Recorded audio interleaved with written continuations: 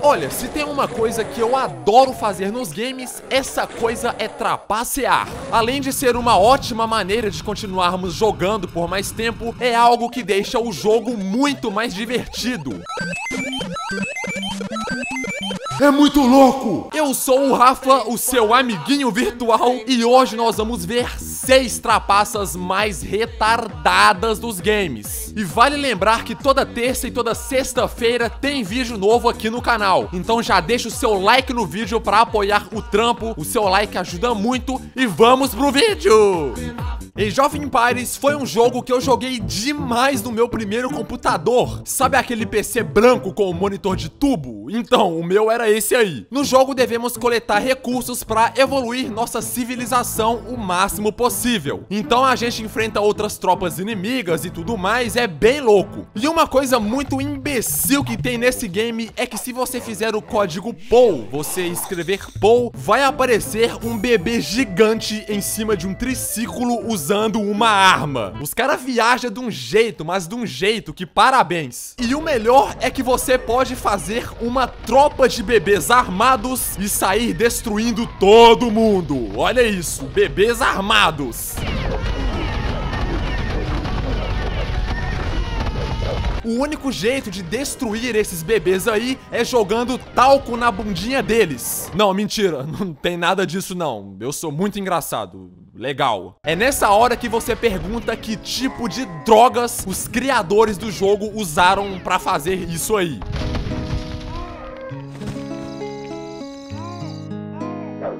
Lara Croft é uma das personagens mais fodonas dos games. Ela é forte, inteligente e ainda por cima tem essas tetas quadradas. Lara, você é foda. No Tomb Raider 2 de PC e PlayStation 1, tem um código que literalmente vai explodir sua mente. Se durante o jogo você dar um passo para frente, outro para trás, girar três vezes e pular,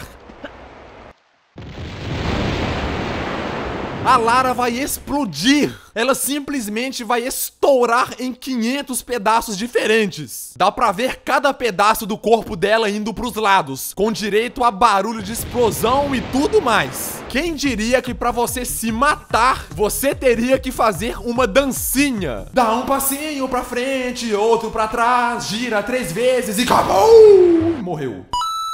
Mortal Kombat é uma franquia que dispensa comentários. E uma coisa que tem demais em seus games são códigos. No Mortal Kombat 1, 2 e 3, por exemplo, tem vários menus secretos e tudo mais que você libera fazendo códigos.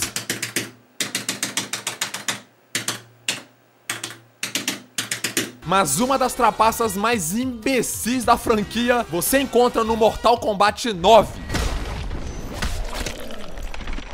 Se você fizer essa combinação enquanto estiver carregando a luta, os dois lutadores simplesmente vão perder os braços. Os malucos ficam cotoco.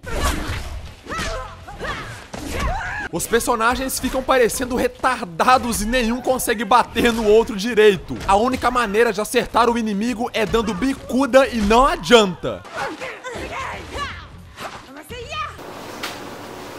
Um game que detona nas trapaças é o GTA San Andreas. O jogo tem tanto código que seus dedos até entortavam para fazer. Mas um cheat totalmente retardado que tem nesse game é aquele que o CJ se veste com uma roupa de gigolô. O maluco fica todo cagado.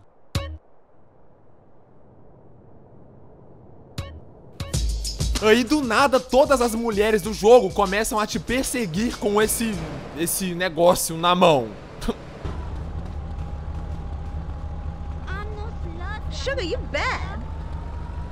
Eu lembro que quando eu era mais novo, eu não conseguia entender por que diabos isso acontecia. O que eu gostava mesmo de fazer era aquele código que todos os pedestres ficam furiosos. Aí do nada todo mundo tava se matando com pintos na mão e... Meu Deus! Ah, o que que tá acontecendo?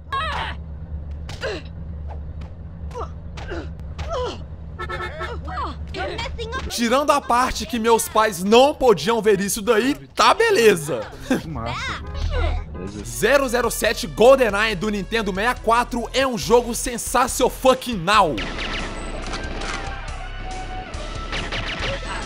Não é à toa que ele tem um dos cheats mais engraçados dos games, onde todo mundo fica com uma cabeça gigante. Dá uma ligada no tamanho do crânio do cidadão.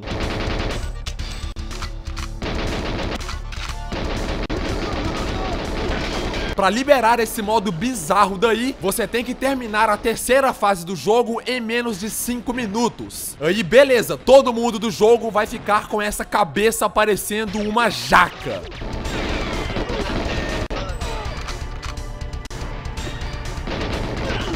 Super Monaco GP do Mega Drive é um jogaço de Fórmula 1. Inclusive, esse era um dos 10 games que tinha na memória do meu Mega. Esse jogo é tão louco que dá até pra você atropelar o bandeirinha no final da corrida.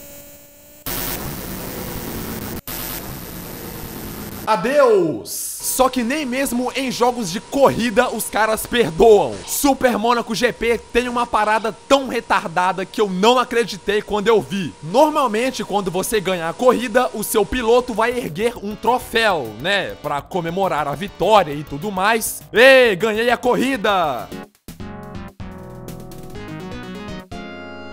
Só que se você segurar os botões A, B e C após cruzar a linha de chegada, ao invés do piloto erguer um troféu, ele vai erguer a sua própria cabeça. Meu Deus!